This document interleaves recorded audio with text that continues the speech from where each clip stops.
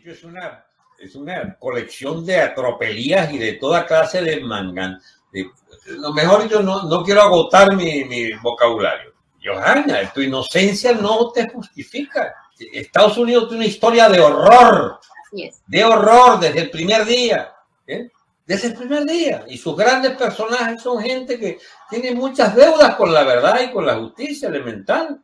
Este, el Partido Demócrata, por ejemplo, hoy, el partidario, nuestro amigo Godon no, no, nos ha contado, el Partido Demócrata es el partido del racismo más oscuro de Estados Unidos. Estados Unidos tiene un pasado oscuro y fue racista, sí fue racista.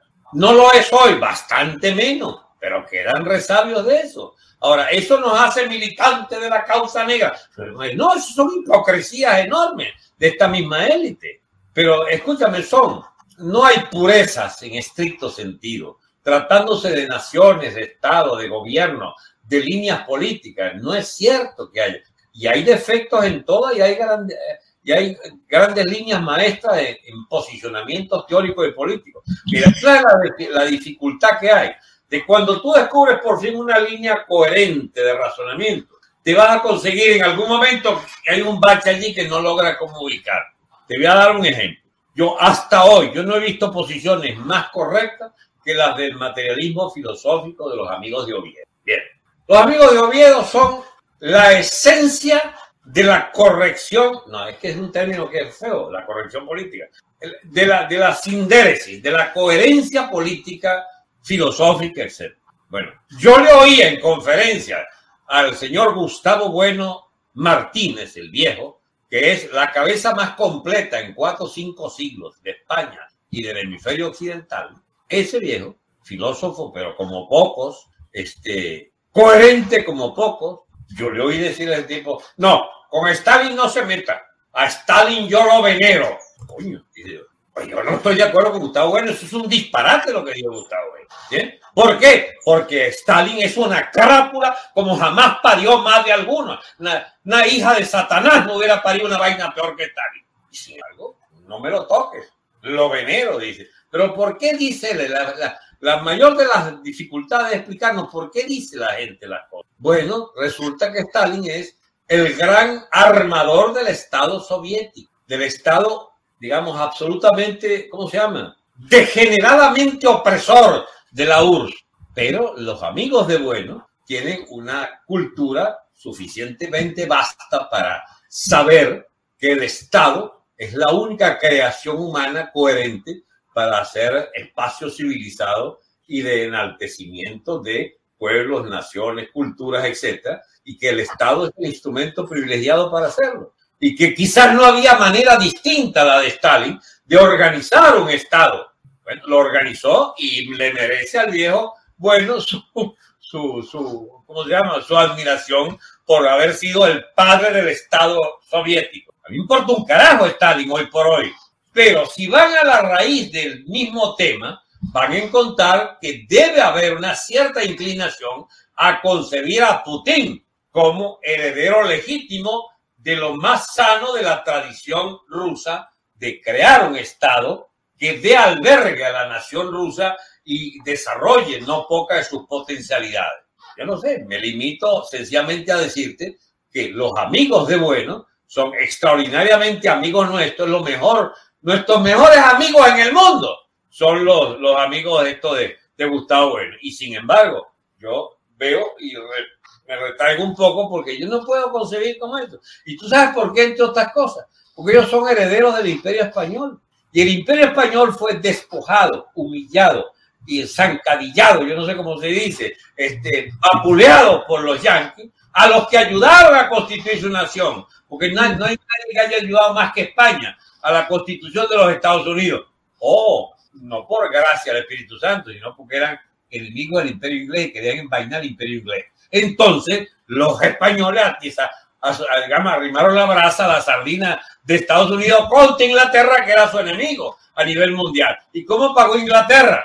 Con Bolívar, con Sucre, con San Martín, con nuestros ejércitos libertadores, todo financiado o ayudado por la pérfida avión inglesa, por Inglaterra, para echarle vaina a España y reventar España. Y la lograron reventar. De manera que todos estos episodios tú los vas ligando y vas a encontrar que aquí no hay hueso sano en la historia mundial. Sin embargo, las explicaciones más coherentes y lúcidas las consigues tú en la gente de bueno para explicarnos este y los episodios anteriores a partir de esta noción extraordinaria que es la lucha de imperio, la lucha de la humanidad.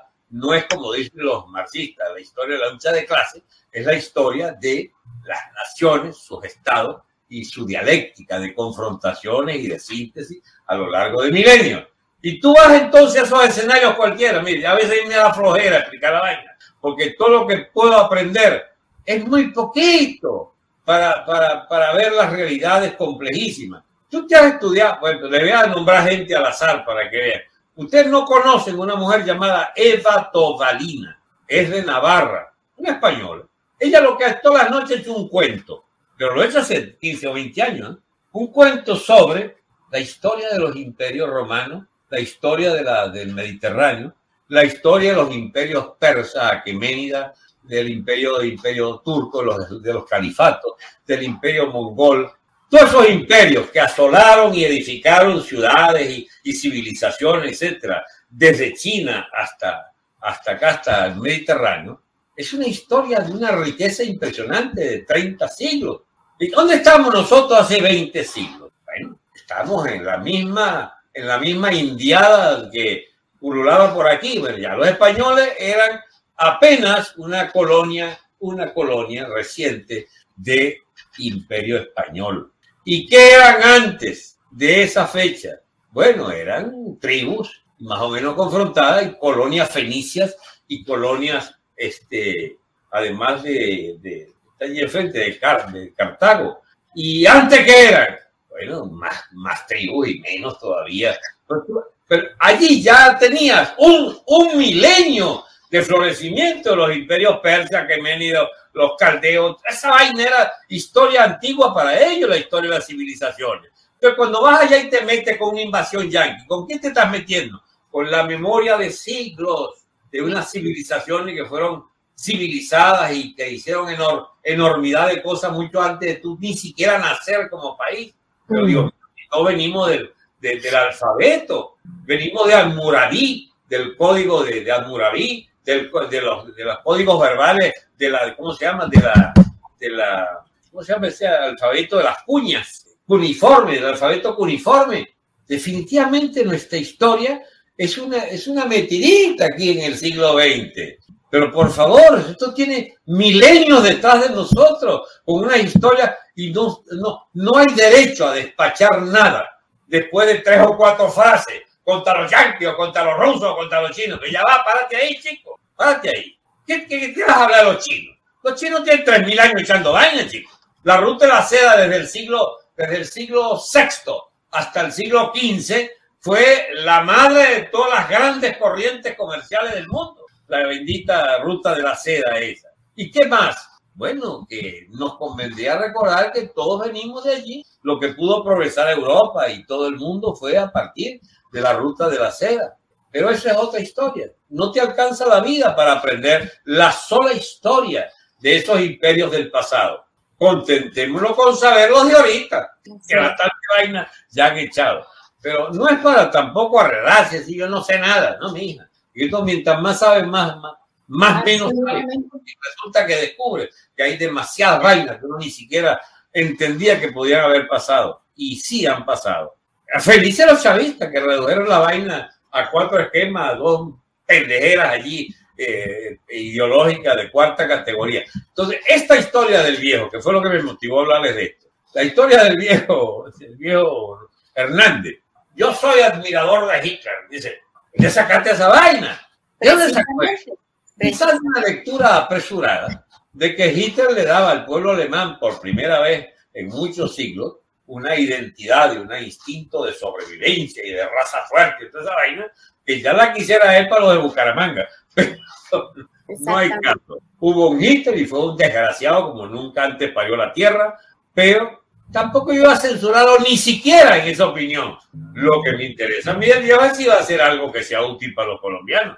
Porque la cagada que hubieran puesto, o que pueden poner todavía si votaran Petro y, si, y le dieran el chance a Petro de hacer trampa para ganar, bueno, no les va a alcanzar la vida parlamentaria. Y con este viejo que puede durar poco en la conducción de, de, de Colombia, porque ese va a ser, eso va a ser un gobierno de crisis tironeado por todos lados, ese día dando vuelta de aquí le hace caso, porque él no tiene una sólida formación que le permita mantener la, el, timón fuerte. Ojalá lo rodeen, ojalá lo rodeen, digamos, gente sólida, intelectualmente sólida, para ver si hace algo importante. El problema es que lo que se le acerca, tú sabes qué es, la mugre de toda la gente, de todas las élites gobernantes de, Colombia se le van a acercar los bicharracos de toda la vida, los intereses, van a tratar de comprarlo, de presionarlo, de chantajearlo. Es que no tenemos suerte. Ni siquiera ese hombre que puede ser cándido, aunque diga la estupidez que dijo sobre Hitler, que dijo sobre Hitler. Definitivamente él no es un inocente, no es un cerebro, mire, tiene la cabeza llena de basura a lo mejor. Y los que más tengan basura anidada en ese cerebro van a sacar ventajas para, con la hipótesis de que él va a hacer una gran vaina, a lo mejor lo enredan lo enredan y pobre viejo anda dando bandazos y en medio de los bandazos va haciendo cada élite, cada segmento de la élite colombiana una su, su, su agosto ya sacando ventaja de no sé qué medida económica. Porque, mi amor, para dirigir un país se necesita algo más que ganas de dirigirlo, que fue la gana que le pegó a él. Pero una vez que te premian, hasta con la presidencia, ten cuidado, amigo Hernández, con lo que decides, con lo que vas a hacer porque puedes terminar poniendo una enorme cagada. Yo quiero decírtelo bien en criollo para que me lo oigas bien, si es que alguna vez oye esto. Y a él no le va a molestar porque él habla, él habla así, así que lo debe tener bastante claro. Le entrego el testigo a Narda porque, doctor, ya llevamos una hora, 20 minutos. Entonces, prácticamente como para también ir cerrando. el testigo, cuando me pongo muy ladilla, tú dices, Así que nada. Doctor, cito textualmente a la agencia F. El lanzamiento combinado de misiles tierra-tierra entre Corea del Sur y Estados Unidos demostró la capacidad y la postura para lanzar ataques de precisión inmediatos sobre los orígenes de provocaciones y sus fuerzas de mando y apoyo. Esto en respuesta al test norcoreano. ¿Cuál es su opinión sobre eso? Eso es una, digamos, respuesta a ese test norcoreano no se equivoque, cuidado con vaina. Los Estados Unidos pueden tener frentes bélicos en 10, 15 sitios simultáneos. Ustedes son uno de los 20 donde podemos estar presentes. Ustedes no se equivoquen porque ustedes tienen un régimen de, hambrien, de hambreados país hambreado, un país que nos necesita, un país que no puede andarse dando el lujo de echar la vaina que le da la gana a cuenta de que tengan armamento sofisticado. Es una mezcla de prepotencia yanqui, pero también de detener al loquito este, que es capaz de que le mete a, a ¿cómo se llama? A Corea del Norte en otro río. Ojo, que es lo que él hace siempre. Él amenaza y está sacando una guerra para sacar unos reales a Occidente para poder comprar trigo, para poder comprar cereales para matar un poco el hambre que ya está amenazando otra vez a Corea, si es que no está en época de hambruna ya. Entonces, estas son las cosas estas de la humanidad que uno a veces le provoca sentarse a llorar desconsoladamente. ¿Cómo es posible que todavía haya un régimen como el coreano? ¿Bien? Bueno, pero es que no hay coreanos sin, sin Biden, no hay coreanos sin, sin Kennedy, sin Johnson, no hay coreanos sin Eisenhower, no hay coreanos. Es la historia yankee, la historia y la historia del sudeste asiático. ¿Qué es, el, qué es Corea? Corea sin Kim Il-sung no se explica. Y Kim Il-sung es padre de Corea porque participó en la guerra contra los japoneses. Y Kim Il-sung es el padre de Corea porque fue un aliado norteamericano financiado por los norteamericanos y por los rusos y por los chinos para impedir que Japón se cogiera. ¿De dónde está la causa de Benditos japoneses que fueron a echar vaina para allá y a invadir toda Corea y toda la, la península de Indochina. Es que la historia mundial es la historia de la guerra de imperios, de la dialéctica de imperios. No hay intervención norteamericana en Vietnam sustituyendo a Japón, que había sustituido a Francia. Bien, ya llevó tres imperios en cuestión de, de 30, 40 años. Ajá. Y anteriormente, ¿qué era? Los propios coreanos fueron a su vez este, agentes de, digamos, de ocupaciones externas. Pero Japón ocupó Corea también. Entonces, emancipar Corea, emanciparse de Francia, emanciparse de Japón, emanciparse de los Estados Unidos. Esa es la historia de Corea la historia de Vietnam. ¿Y ahora de quién es? Bueno, hay cuidado con China, porque tan pronto terminó la guerra de Vietnam, poca gente dice esto, porque como la izquierda tiene una gran influencia en los medios a nivel mundial, no sé cómo lograron, pero silenciaron mucho una guerra, pero criminal, que ocurrió apenas terminada la guerra de Vietnam. ¿Sabe cuál fue? Que Vietnam se le ocurrió que había desarrollado cierto musculito como para ir a cachapar a los, de Camboya. Invadió Camboya, fue Vietnam. Y China fue y le metió una carajamentación y lo sacó de allá. China, contra Vietnam. Terminada la guerra de Vietnam, China invadió Vietnam. De eso se habla poco. Pero es que China es algo así como, ya vamos a decir, este es mi patio, compañero. Yo con vaina aquí. Entonces, ¿qué es lo que es también? ¿Qué es lo que es también la, la respuesta rápida? Es un anuncio mediante Corea a China. Cuidado, China, como tú te la das y en medio de esta situación peligrosa que tenemos en, en Ucrania y en África y no sé dónde, tú aprovechas para echarnos vaina aquí en el sudeste asiático. No se trata de eso, amigos chinos. Cuidado con vaina. Aquí está Estados Unidos muy presente, porque tú eres muy amigo de andar regando por ahí que te vas a coger tu Taiwán. Y eso no va a ocurrir porque no puede ocurrir. ¿Qué está detrás de todo? Todo. Todo. Sí. Es increíble, es increíble, pero es así. Todo el mundo eh, moviendo sus piezas según su conveniencia. Es intereses, esto es total intereses, siempre lo hemos dicho y lo hemos comentado en los programas. La geopolítica, además no de no tener moral, es, es absolutamente puro interés. Esto no es nada autrista eh, a favor de, de, los ciudadanos, nada que ver. No. Doctor. Ya va, no se me vaya. ¿Te vas ahí? Dígame, dígame, dígame. Ah, te ibas ahí, te parece. Mira, no, que yo diría, un día de esto vamos a hacer una, una sesión a los amigos de los amigos de Johanna. a ver, vean aquí. Rubén Gisbert con el coronel Baños. Sí, señor. Ese, ese es un hombre que hay que oír, coronel Baños. Así es. Es un oficial retirado, un coronel retirado de la Armada de España. Él no puede hablar sobre temas así muy partidistas, etcétera, pero es un analista de primer orden. Y quedó muy impactado Baño por este que también Johanna y yo lo oímos, este, este señor Zúñiga, Zúñiga ¿eh? o Zurita. Sí, señor. ¿Es Zúñiga o Zurita? Ay, no me acuerdo.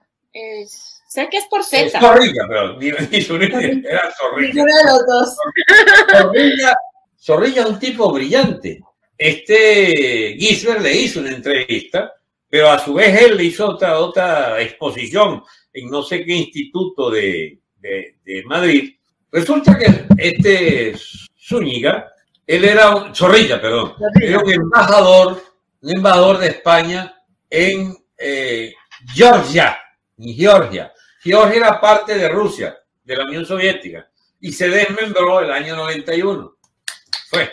Y como a los 7, 8 años uno escucha que Rusia invade, eh, perdón, que Rusia respalda, y que Rusia se agarra su, ¿cómo se llama? Su Ucrania, su pedazo de Ucrania, ¿cómo se llama? Su Crimea, este, fortalece el Donbass, que eran zonas rusas, pero también agarra una área que se llama Osetia del Sur. Entonces empiezan los charlatanes europeos a decir, Rusia, que quiere cogerse todo, que se cogió Ucrania y se cogió Osetia. Eso no fue así. Osetia es rusa y estaba formando parte de este, de, de, de, ¿cómo se llama esto? De bendito sea Dios, este país que siempre se me olvida. El que está acá arriba de Miami, arriba de... Canadá. No, arriba de Florida. El estado que está arriba de Florida, ¿cómo se llama? Lo acabo de nombrar. No digo más nada hasta no me acordarme ese nombre del carajo. Oh my God, no, no, no recuerdo porque está. ¿Qué pasa por no tener noción de geografía? Sí, también. Dios mío, que estudiar geografía. También. Alguien va a decirlo por ella, a lo mejor lo dice. Yo, en el, cuando yo tenía mi vaina solo, era fácil. Me decía, hey, Wikipedia, dígame cómo es la vaina. Entonces lo decía la gente. Ay, Dios. Dios, no, no lo leo aquí. No sigo, yo no sigo hasta no tener esa vaina. Georgia. Georgia. Ah, Georgia, lo nombré antes. Tiene esa parte llamada Osetia del Sur. Resulta que es que cuando se desmembra la Unión Soviética, un, un georgiano de la élite georgiana esta que dirige el país, no se olviden que Georgia era la patria de Stalin. reaccionó vuelto, un poquito tarde, pero llegaste vuelto. no, no, lo estoy colocando yo tarde. Ellos reaccionaron ah, bien de tiempo y fueron quienes nos ayudaron, doctor. Ah, mira. Entonces, Georgia eh, es el país de Stalin, mis amigos. De Stalin. Mira si era, si, era soviético, Georgia, que el padre, el, ¿cómo se llama? El, el jefe mayor de Rusia, de, de la Unión Soviética, por 20 y 30 años fue de Georgia, José Stalin. Bien. Entonces, ahora con la separación de Georgia el año 91-92, se le ocurre a los georgianos quererse coger esa vaina, la Osetia, y la, la trataban de segregar los rusos y medidas contra los rusos, hasta que llega Putin, le da un carajazo y se mete allí. ¡Ruso! La opresión rusa, déjate vaina. Esa vaina la incitó el dirigente georgiano de que anda queriéndose coger Osetia. Para que ustedes vean que las cosas no son siempre blanco-negro. Hay demasiado gris en la historia. Pues bien, estamos en la obligación de terminar. Lamentablemente, este, además que la gente no aguanta más tiempo en estas vainas. Este, seguiremos hablando cualquier semana de esta, pero retengan esto. Lo más sólido que se ha escrito sobre imperios, Estado, política de imperios, etcétera, es la gente de Bueno, Gustavo Bueno. Este señor que le acaba de nombrar con, con entrevistó este Gisbert, el, el, embajador este, fue embajador en Georgia, embajador en, en, en Helsinki, en Finlandia, y eh, le hicieron unas entrevistas pero extraordinarias hace poco, y Gisbert le hizo una, donde el tipo explica la cuestión ucraniana con las mismas características que como nosotros explicamos sin vainas antirrusas ni, anti, ni antisoviéticas, ni tampoco en planos de, de jalamecates de Putin ni nada por el estilo, sencillamente explicando los hechos históricos. Es de esto de lo que se trata, porque nosotros necesitamos qué distinto fuera si nuestro país fuera más culto o fuera culto. Podríamos explicar muchas cosas y nosotros mismos ser más cultos para poder interpretar las tendencias profundas. Pero mientras tanto, no es que vamos a tener que conformarnos con lo que sabemos, o que seguimos estudiando y tratando de conocer más, sino que por lo menos tenemos una noción más completa que esos chiquilicuates de, de la, de la MUT. Esa, esa gente, Dios mío, nacida en la ignorancia y que cultiva la ignorancia y se morirán ignorantes, este, esa es la peor desgracia que nos puede ocurrir. Que a los Maduro, a los Siria, a los Diosdados y compañía, hereden los Guaidó, los Henry los los tontos estos que sencillamente nos traen por la calle de la amargura. Hasta muy pronto, amigo. Muchas gracias. doctor, ya va un segundo. Toda esa vergüenza de posición, pero justamente en, eh, rápidamente en, en, ese mismo contexto que usted está diciendo, nos puede decir justamente, doctor, para concluir este programa, este, usted ya lo dijo anticipadamente en la, en la primera pregunta, pero ¿qué nos puede decir ahí cortamente, guerras buenas o guerras malas. Yo lo dije de paso. Todas las guerras son una porquería, una iniquidad contra los humanos, que son los que las sufren. Todas las guerras son una porquería, genocida por definición. Son contrarias a la dignidad humana, contrarias a los intereses de la familia. Eso es, es algo indigno de la raza humana. El problema es que la raza humana es temporal, es sujeta a ideas, a formaciones políticos, sociales, históricas, además los estados. Los estados se dirigen por políticas determinadas y por intereses. Y los intereses son en última instancia la madre de todas las posiciones.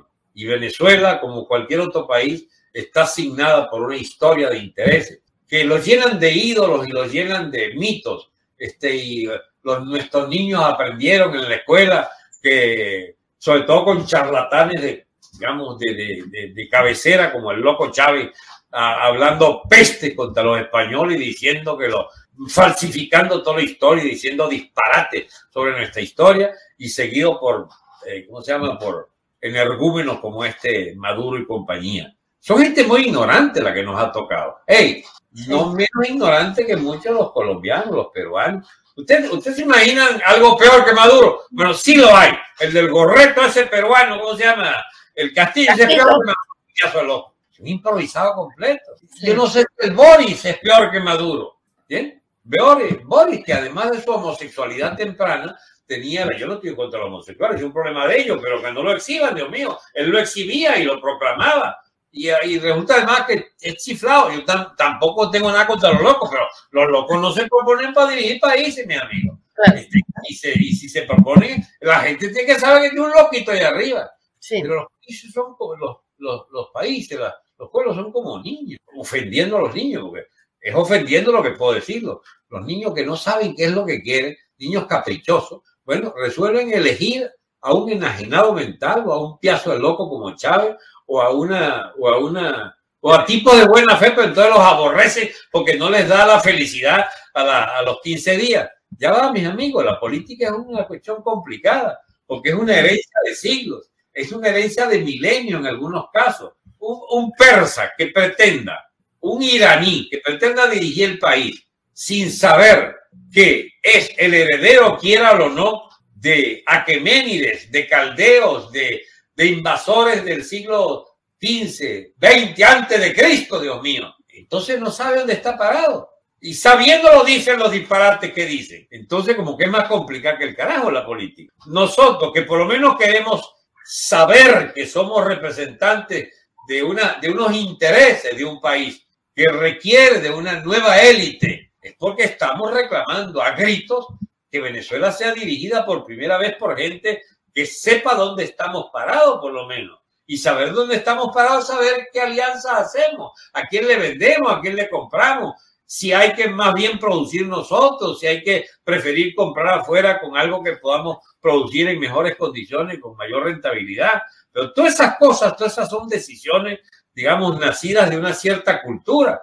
Lo que yo no sé si el amigo Hernández dispone de esa cultura para dirigir bien Colombia. Los que tienen capacidad de llegarle a él están en una responsabilidad mayor que la de él. Están, están en la necesidad y en la obligatoriedad de mostrarle opciones, opciones maduras, opciones sólidas, para que el tipo se oriente en función de los mejores intereses de Colombia. Y al resto de los colombianos tengo que decirlo, que ve cómo le tienen paciencia a alguien, porque han electo a alguien que no tiene nada que ver con el pasado o poco que ver con el pasado, pero tampoco el viejito puede abusar de esa condición, porque si no acierta rápidamente lo van a mandar para el carajo y Colombia va a entrar en una crisis sin retorno. Pero eso es otro tema. Así es.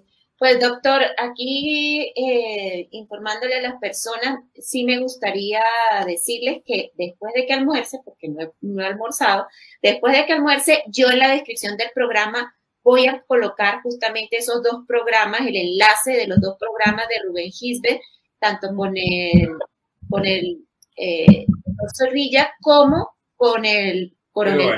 Lo pongo en la descripción del video para que puedan ir directamente allá y lo vean. Eh, también, ¿iba a decir algo más, doctor? Sí, mamá, es que, es que uno no puede... Mira, ese, ¿cómo se llama? ¿Cómo que se llama el hombre Zúñiga? Zorrilla. No me equivoco. El que, uno de los dos que mencioné. El doctor Zorrilla. Zorrilla.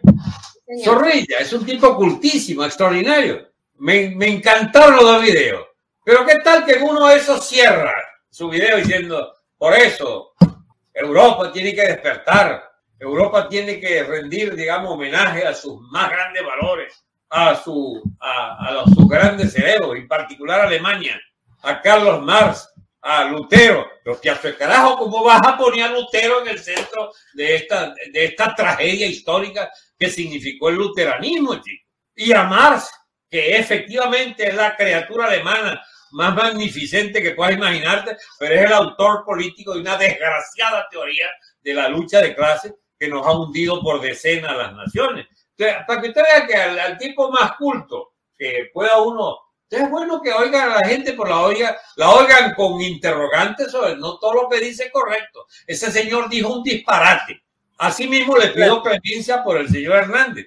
Hernández, ese disparate trágatelo de que Hitler era una vaina distinta a un ser miserable digno de ser un hijo de la perra de Satanás. Déjate de vaina, de creer que los colombianos pueden meterle tú esa, ese trambuque de estupidez llamado que Hitler tenga algo que de digno lo cual eh, ser mencionado. Pero ya, es un tema de cada quien, deberemos aprender, seguir aprendiendo. Hasta pronto. ¿eh?